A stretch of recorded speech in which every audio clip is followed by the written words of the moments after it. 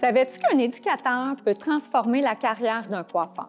Je t'explique. Depuis le début de ma carrière, j'ai eu plusieurs mentors qui ont vraiment marqué ma façon de travailler. Je suis ici aujourd'hui pour te présenter, t'emmener avec moi dans cette folie qui est la coiffure. Je te raconte une histoire rapide. Il y a une formation que j'ai faite en début de carrière qui était pour moi une révélation. Je l'ai faite trois fois. La première fois, je l'ai découvert. C'était quand même quelque chose d'assez complexe. En début de carrière, c'était de comprendre comment se faire un plan de coupe puis comment comprendre la structure du crâne. La première fois, je l'ai découvert. Je suis retournée une deuxième fois pour la maîtriser. Puis la troisième fois, quand je suis retournée, c'était pour amener des amis avec moi. Parce que quand j'aime quelque chose, j'ai envie de le partager. C'est ce que j'ai envie de faire avec toi aujourd'hui. Amanda, je vais travailler un dégradé inversé. Le dégradé inversé, c'est une technique qui est quand même assez facile, facile à reprendre, puis facile à travailler en salon parce que c'est une technique qui est rapide. Je vais toujours travailler mes sections proprement, ce qui est très important.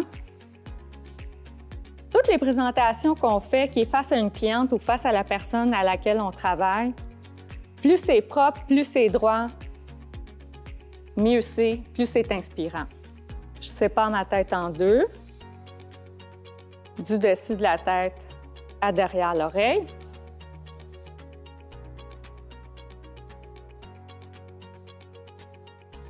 Je vais commencer par travailler l'arrière.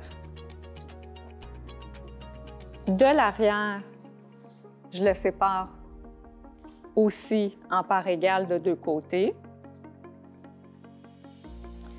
Ma, première séparation va déterminer ma base.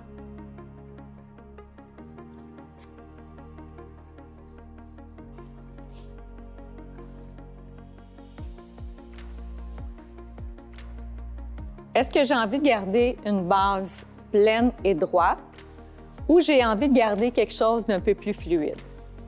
Moi, j'ai envie de garder quelque chose d'un peu plus fluide.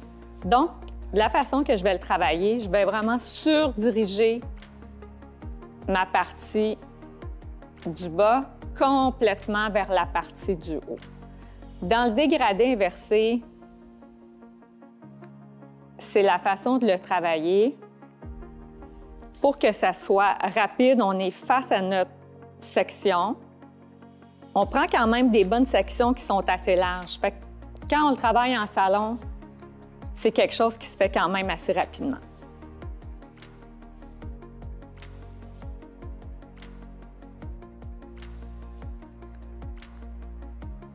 Je détermine ma longueur.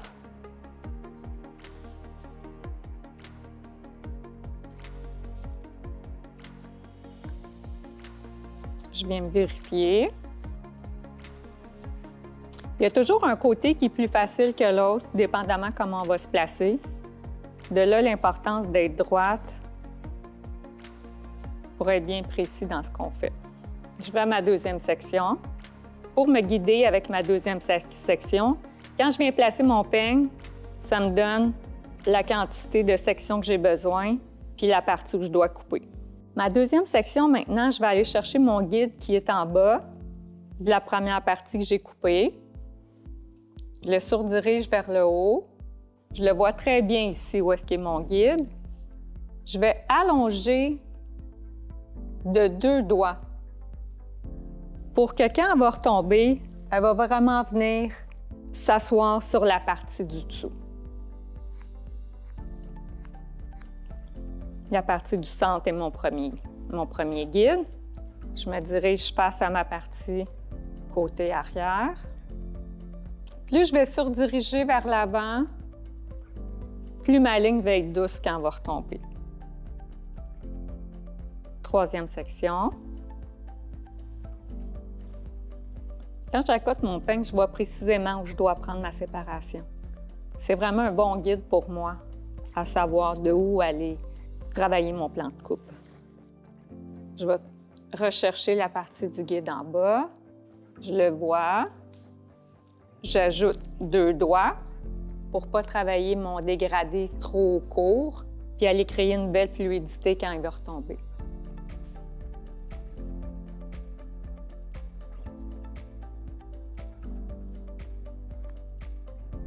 Faire attention à cette partie ici parce que c'est la partie euh, du point d'explosion que le cheveu euh, il est souvent éparpillé dans sa façon de retomber. Toujours deux doigts plus loin.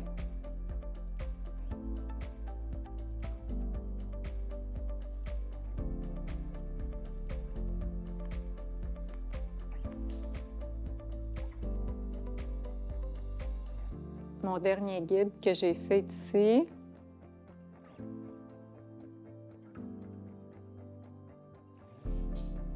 Je vais isoler ma partie du dessus parce que pour le moment, ma partie du côté va être celle-ci. J'ai pas envie que ce soit trop court.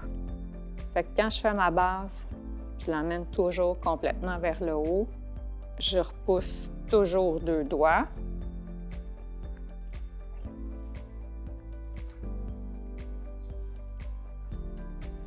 Troisième section, même principe.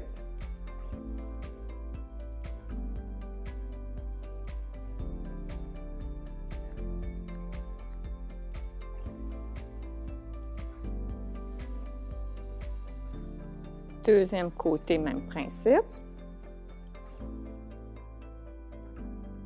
La première section, on vient quand même évaluer avec mon guide de l'autre côté.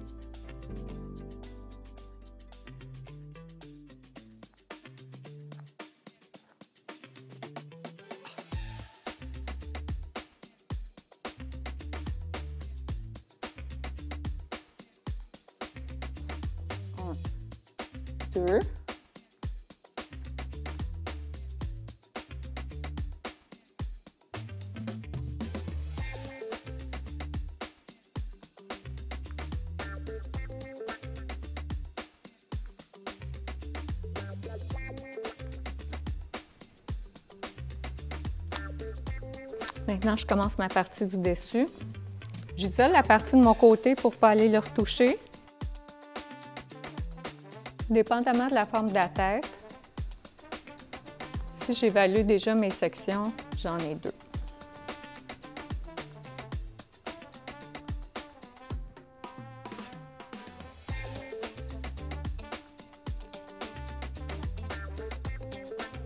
Je surdirige complètement, complètement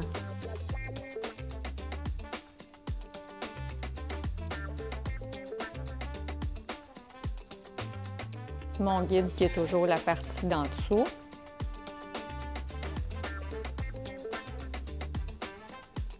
Ah, maintenant, je vais juste aller retravailler ma partie du point d'explosion ici sur le dessus. La frange est toujours important parce que c'est la partie qui vient vraiment personnaliser la coupe, personnaliser la cliente. Souvent, c'est la partie que je vais retravailler à sec, la laisser tomber dans son implantation naturelle. Je travaillais quand même quelque chose de naturel, fait qu'au niveau du séchage, je vais aller travailler quelque chose qui va tomber euh, droit. Vraiment important quand je fais mes, mes mises en je commence toujours par la partie du devant. Parce que 30 minutes, le temps que la cliente elle se regarde dans le miroir, elle se voit déjà belle.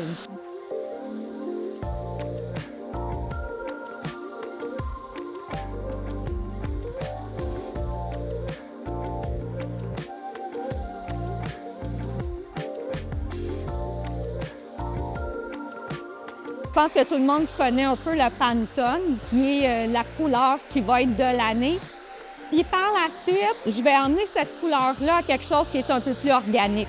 On a travaillé un brun, un brun cuivré plus foncé, un cuivré plus pâle.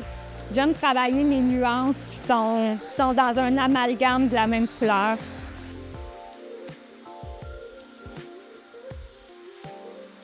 Partir de la racine, et de l'emmener totalement jusqu'à la fin.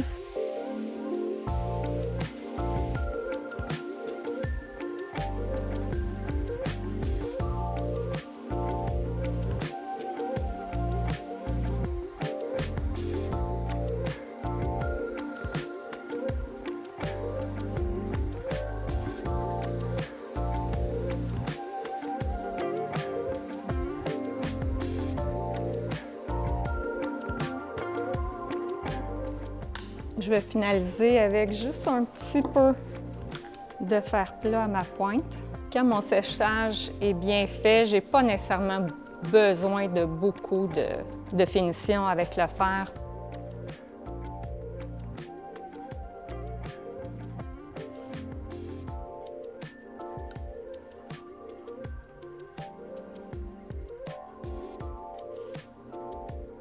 Je viens juste un peu ouvrir la partie du devant, juste pour casser un peu le look qui est plus, euh, qui est plus plein ici de chaque côté.